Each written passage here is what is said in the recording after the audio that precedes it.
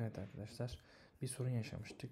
Ee, bununla ilgili e, login'i çözdük. Bir hatamız varmış. Login'den sonra yönlendirmeyi home olarak belirtmişiz ama şimdi main aktivite olarak aktivite main'le başlayıp Navigator'da açılıyor uygulamamız. Ee, şöyle yapalım. Bir add label uygulamamız var. Add label uygulamamızın hemen tasarımını bir göz gezdirelim. Kod, kod yapımıza bakalım. Add label'ı şöyle split olarak açarsak. Evet. Bir adet edit text'imiz bulunuyor. Bunun üzerine biz e, e, kendi etiketlerimizi girip, girip eklediğince listeye ekle, ekleyebileceğiz. E, checkbox'larımız bulunuyor. Checkbox'larımız işte tekrardan bunları işaretleyip düzenleyebiliyoruz. Bu kadar aslında bu, bu kısım. Tasarımını bu şekilde yaptım. E, ve backend tarafına geçelim. Add label framework'ta. Burada e, Firebase turumu import ettim. E, collection'ımı label olarak ayarladım. Ondan sonra e, bir referans belirtip benim çektiğim datalarımı setbox olarak listeledim burada. Ve ekleme butonuna basınca da bir ekleme işlemi gerçekleştiriyoruz.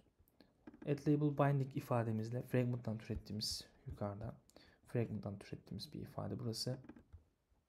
Burada biz e, projemizin içerisindeki label fragment içerisindeki değişkenlerimize ulaşabiliyoruz. Yani proplarımız diyelim işte label şey olabilir, işte inputlar olabilir vesaire. Biz buradan erişebiliyoruz. Bir ekleme sırasında herhangi bir durum e, işte label mevcut durumlarında bir label hatası veriyoruz. Bu label mevcut hatası veriyoruz. Onun dışında gerçekten başarılı bir sonuç gelirse ekleme işlemlerinde başarılı ekleme veya ekleme başarısı gibi durumlar söz konusu oluyor bizim için. Şimdi bunu tekrardan başlayalım.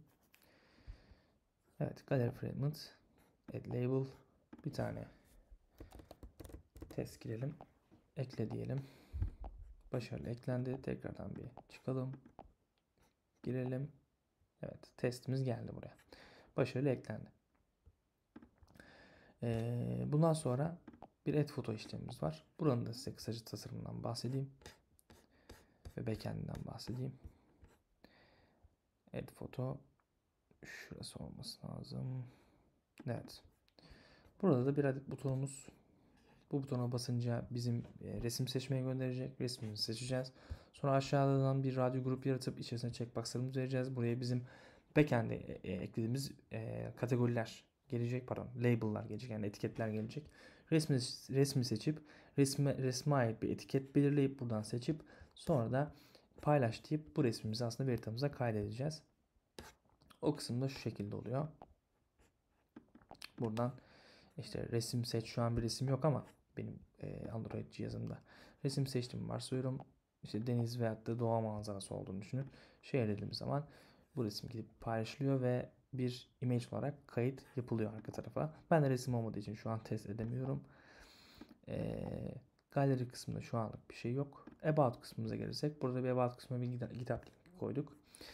GitHub linkimize tıkladığımız zaman biz benim kendinizle ilgili bir CV veyahut da bir şey paylaşabilirsiniz. Şu şekilde kodu da.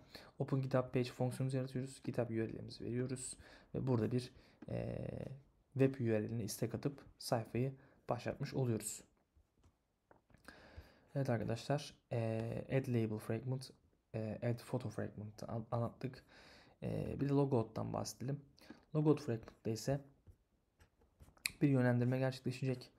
E, logout butonuna tıkladığımız zaman bir login işlemine gidecek ama bu login işlemine gittikten sonra bizim oturumumuzu sonlandırmamız lazım biliyorsunuz. Station'da bir oturum tutuluyor bize ait. Bunun da e, Firebase out.getInstance .signout fonksiyonuyla bizim oturumumuz Firebase tarafından kapatılacak ve authentication işlemimiz son bulacak. Artık oturumdan çıkmış olacağız. Onu da şöyle test edebiliriz. Logout deyip buradan da çıkış yapıp yapabiliriz. Tekrar login olalım. Login de gösterelim size. Evet login olduktan sonra giriş yapılıyor. Ve uygulamayı ben tekrardan başlatsam dahi e, oturum açmış olduğum için Firebase tarafında ve e, sunucu tarafında beni bir daha oturumdan yani uygulamadan dışarı atmayacak. Bu kodu da şöyle sağlıyoruz. Bizim View Activity içerisinde bir Firebase User Out User adında bir nesnemiz var. Biz bu Firebase Out e, içerisinden bir instance yaratıyoruz. Bu instance'lar içerisinde bir tane get current yani şu anki kullanıcıyı getir adlı bir function'ımız var. Bu function bize oturum bilgilerimiz hepsini out user içerisinde tutmamızı sağlıyor.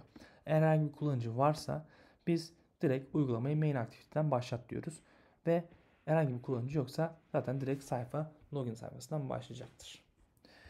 Evet. Şu anlık bu kadar. Beni dinlediğiniz için teşekkür ederim.